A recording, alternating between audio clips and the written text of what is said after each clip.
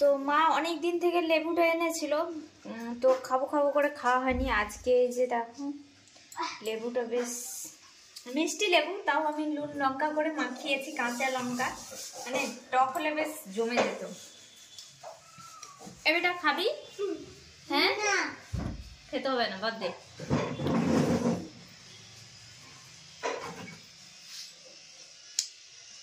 খেয়ে যা খেবি। আহ বিকাশ না মা আমি খাব না আমি পরোটা খেয়েছি না।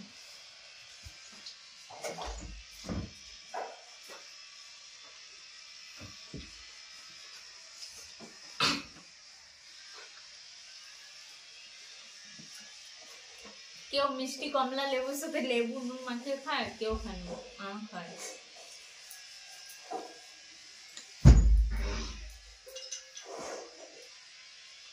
জানো তো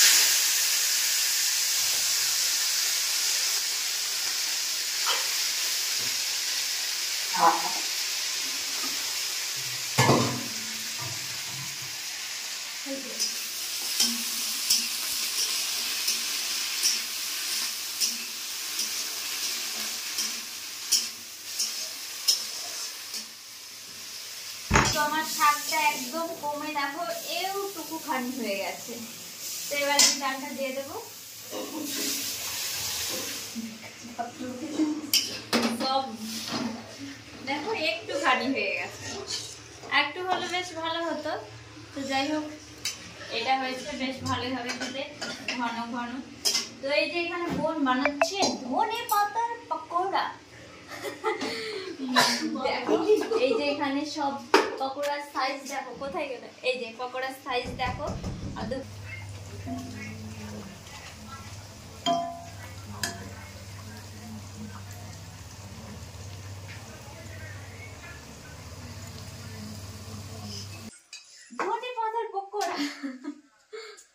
বোন, চলে আসো তোমাকে দিয়ে দিয়েছি। দাদাকে দাও। বিকাশ ভাত খাবে? ও তো একবার খেয়েছে এই জন্য আমি জিজ্ঞেস করছি। আর এই যে ডিম ভেজেছে? কত টেস্টি টেস্টি খাবার করেছ মুখে মুখে মুখে জল। তাহলে? আমি তো বলেছি। অত কষ্ট করে খেয়ে তো হবে। দিদি আবার কত ভালোবেসে করেছে খেতে কুটুম বলে কথা। তাহলে? মাকে হয় সবার একটা একটা এটা ব্যাটার একটা বিকাশের একটা আমার আর একটা কিন্তু ভাও না খেলে গৃহস্থের অমঙ্গল। চলে আসো বিকাল অতিথি নারায়ণ। বিকাশ তুমি হচ্ছে নারায়ণ। তো চলো তাড়াতাড়ি খেয়ে নি। মা তাড়াতাড়ি খেয়ে দিয়ে হচ্ছে ঝাড়গ্রাম যাবে। ঝাড়গ্রামে কিট্টু আছে। আর বাবা আছে অনেক দিন হয়ে গেছে তো এই জন্য মা যে তাড়াতাড়ি করে খেয়ে মাকে ডালটা দিয়ে ভুলে গেছি ডাল। লক্ষ্মী মনে সংযোগে আছে তো এই যে ডিম ভাজা আছে এখানে ফুলকপি আলু পেঁয়াজ কলি দিয়ে তরকারি হয়েছে। আর এটা হচ্ছে ধনে পাতার পকোড়া। আর এখানে আছে উম, পালং ডাল ব্যাস এইগুলোই। আজকে আমাদের আজকে আমাদের কি? দুপুরের মেনু তো এই মাত্র আমাদের খাওয়া দাওয়া হলো আর মা যাবে ঝাড়গ্রাম মা রেডি হয়ে গেছে।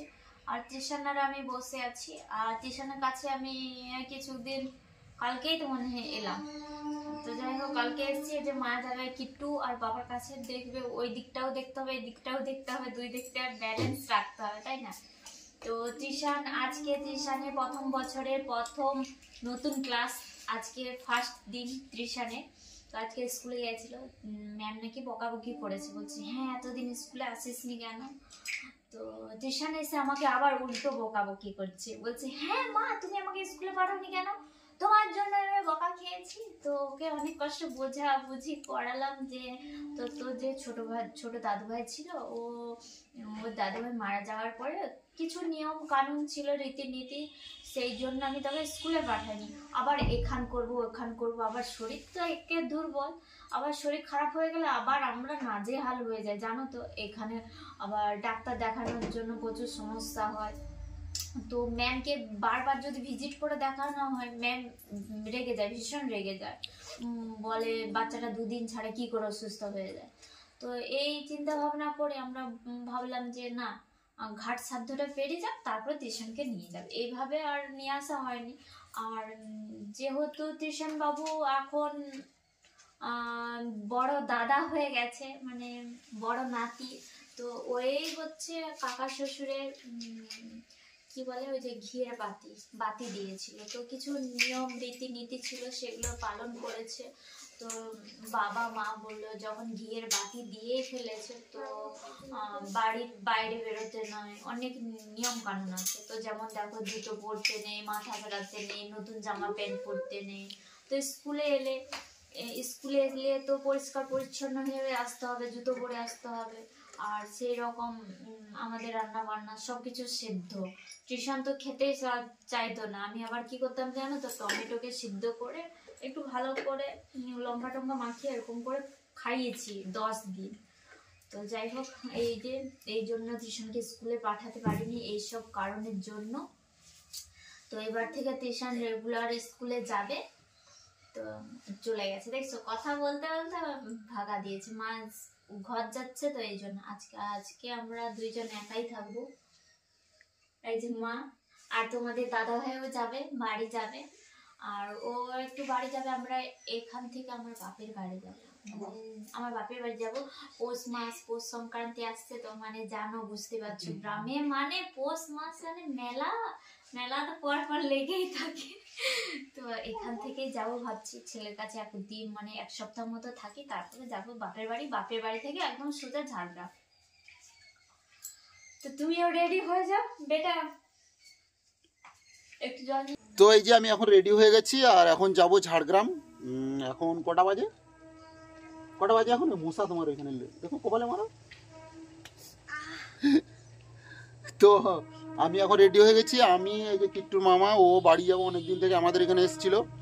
তো মা চলে গেছে স্টেশনে। আর এই এখন আমরা যাব। আর এই যে অনেক দিন থেকে এই যে কিট্টুর সাইকেল তো এই সাইকেলটা এখানেই পড়েছিল এই সাইকেলটা নিয়ে যেতে হবে বাড়ি। তো যাই হোক চলো।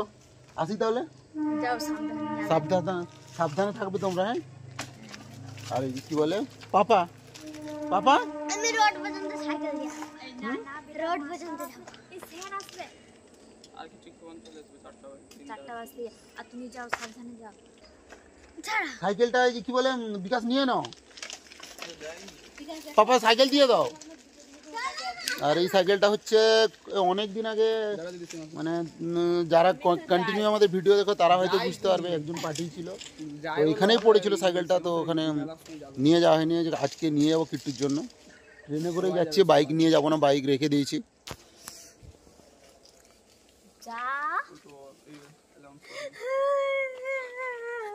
টাটা দিদি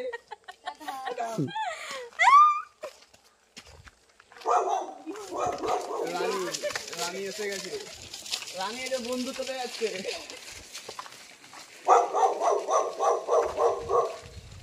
রানী, টাটা।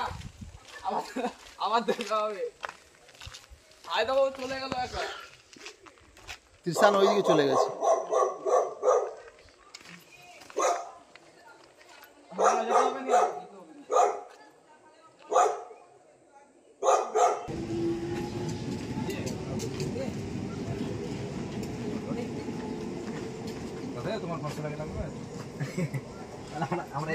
তো চলে এসছি স্টেশনে। জানি না ভিডিওটা তোমাদের কেমন লাগবে আজকে। এখন থেকে আমি মোটামুটি কন্টিনিউ করার চেষ্টা করছি। চলো, দেখা যাক। সাইকেলের অবস্থা খুবই যাওয়ার সিট নেই। সিটটা আমিই ভেঙে ফেলেছিলাম এই সাইকেল। চলো।